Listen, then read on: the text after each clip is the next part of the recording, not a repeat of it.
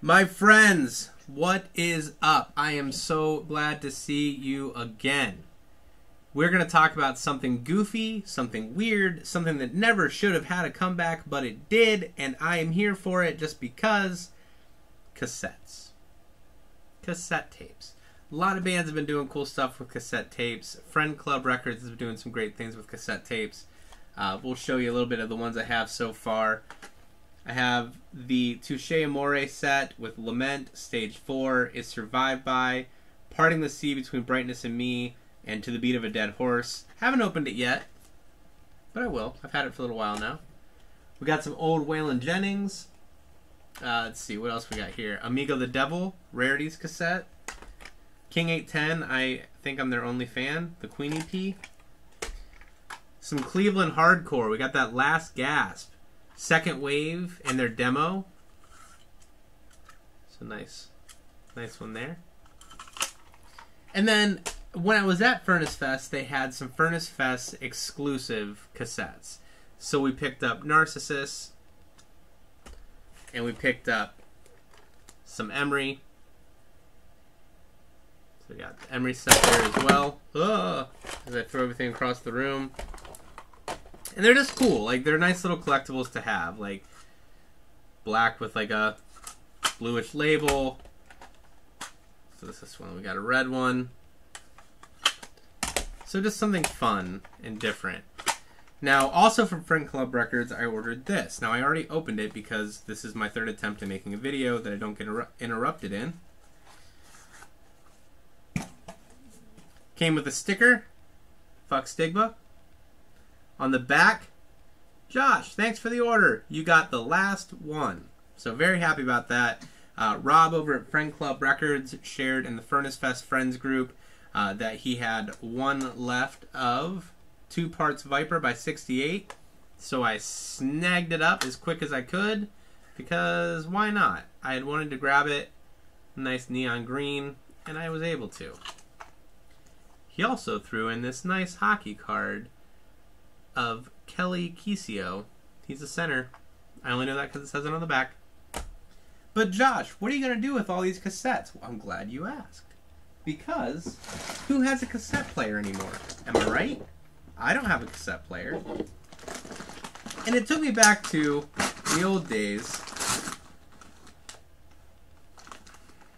of remembering when my parents had a nice little portable cassette player, radio, and all that. So I decided, Josh, wouldn't it be nice if you had a nice portable radio that you could take out into the garage when you're working on things? That you could take out to the front yard when you're mowing the lawn between between mowing the lawn you could listen to your cassettes just like the good old days so I ordered this bad boy. The Crosley CT200 Bluetooth radio cassette player that looks just like something your parents would have had way back when. So this little throwback, if I can get out of the box here, you can plug it into a wall, you can throw some batteries in it. this is actually pretty cool. Uh, it definitely like brings back memories. That's wild. So there we go. Look how old school that looks. That is cool. Now, the other envelope I opened was batteries, which hopefully I didn't underestimate how many this thing would take. Damn. Alright, let's do this here.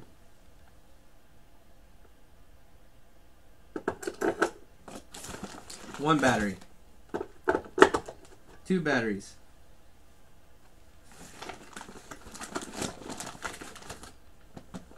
I don't even know if I've used C cell batteries. So these are C's in years.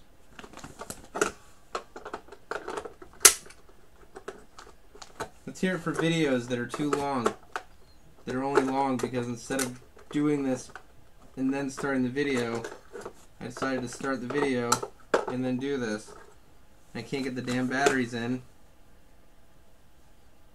So that's cool. But the main thing is, I want to be able to highlight the sound. So, if we can all... Or I could just learn to edit my videos. That would probably be in everyone's best interest. Nailed it!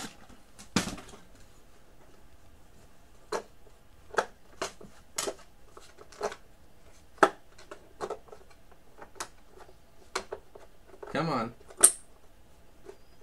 Okay. Did I do it right? FM. Oh, look at that. That is cool. Dude. oh,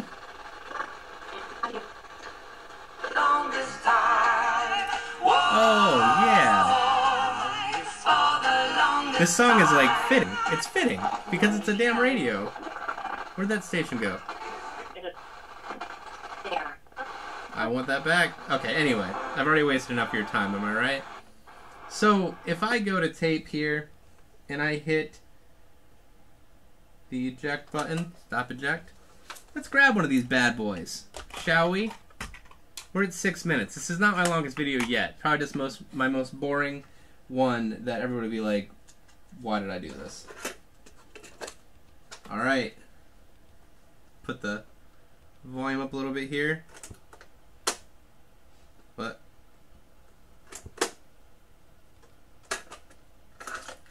Guys. Reintroducing yourself to cassette tapes. How rad is that? Are we gonna have anything playing here? There we go.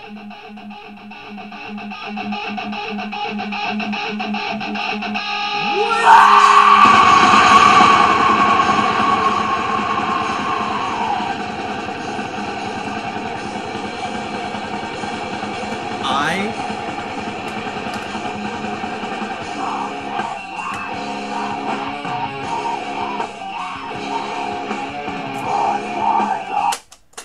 dig it. This is cool. I'll have to come back and rewind this in a little bit. Let's hear something a little lighter so we have an idea of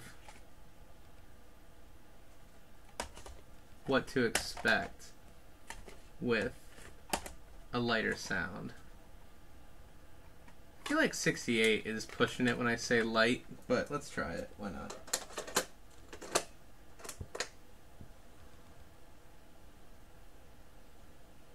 Are you ready? This is literally the dumbest video I've ever done. I apologize, and I appreciate you for... If you're still with me, I appreciate it.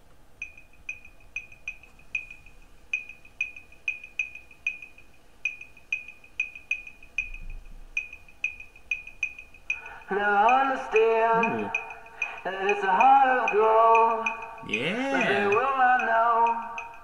For it's only once you're gone that they show. I'm into it. I am into it. This is excellent. And it's portable! Stoked.